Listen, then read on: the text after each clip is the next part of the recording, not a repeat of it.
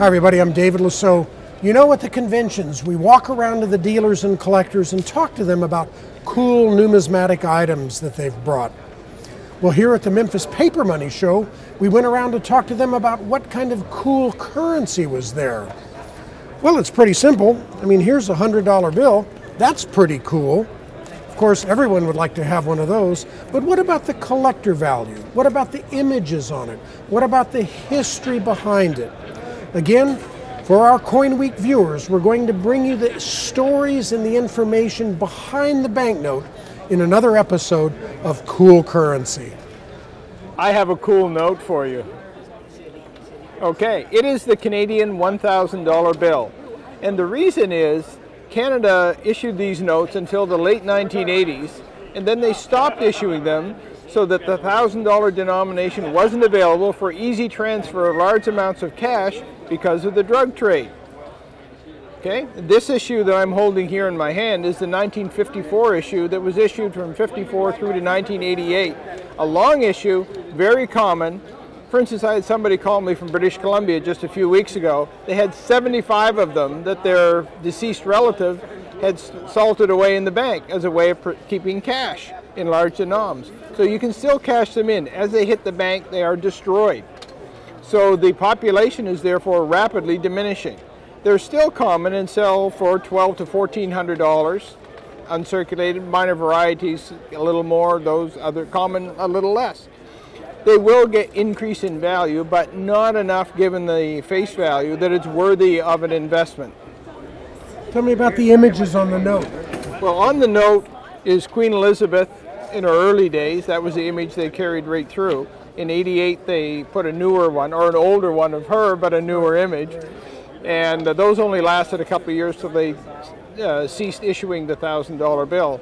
On the back is just a rural scene of Canada with a covered bridge, which is famous and comes from my area of, of, the country, New Brunswick, because there are many covered bridges.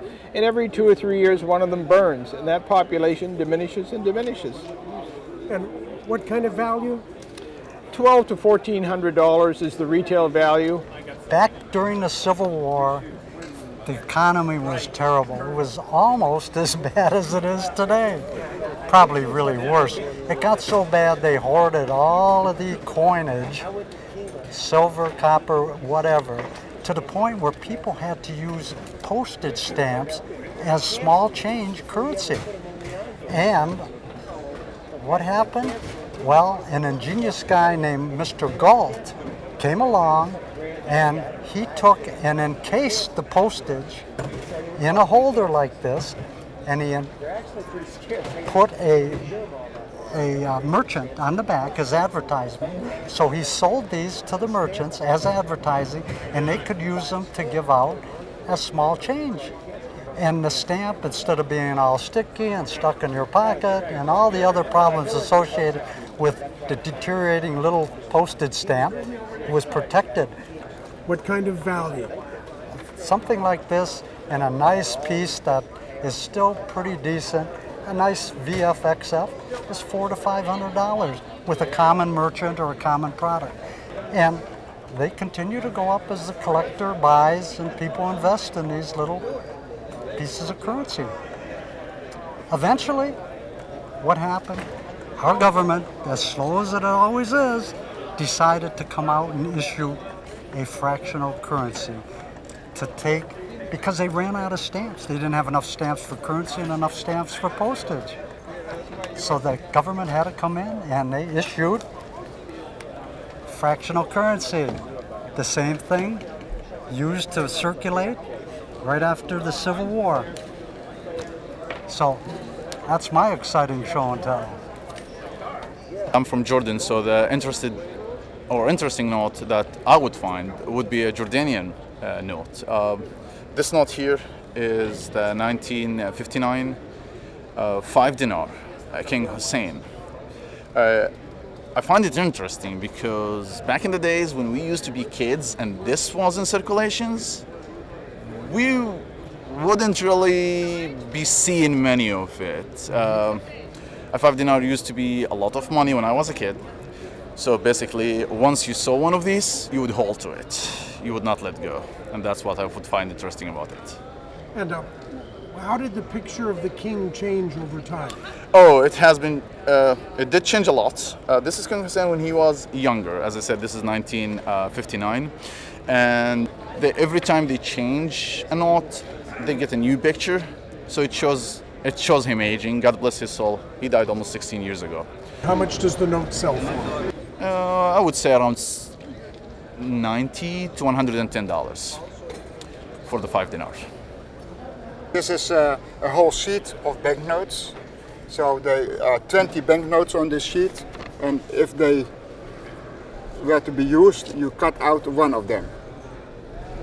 Now, what, why were these issued? These were issued to pay the French soldiers. It's basically a French banknote, and when the French army came to the Netherlands to liberate the Netherlands, then the, of course the French soldiers had to be paid. And, the, and they were paid, and as it says on the banknote, on the national domains. So there were the, the, the, the crowns taken from the clergy and from the nobility who fled France, uh, and all the land was worth so much, and they, they reckoned they, then they could issue so many assignats for it.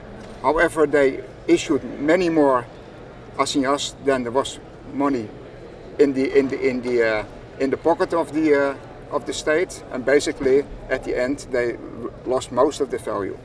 What kind of value? How much This is, is this is 50 sols, and 50 sols is equal to two and a half pounds. And how much collector value? This would roughly be uh, in, in the order of $200 a whole sheet.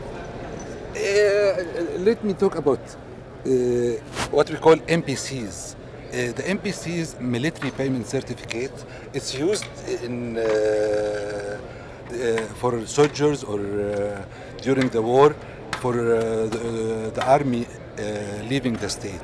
So they use what we call military payment certificate or MPCs. Some notes like that may worth very little and you can find it in junk box. But if it's a replacement note, you have to multiply few hundreds, few hundreds, sometimes few thousands.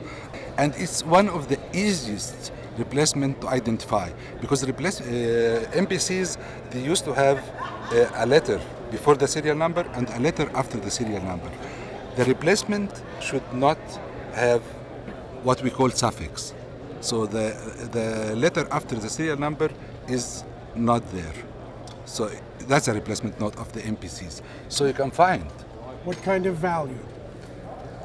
This one is of value because they are two consecutive and they are not a lot. Uh, so if you see, they are two consecutive. So maybe you are talking about fifteen hundred uh, dollar.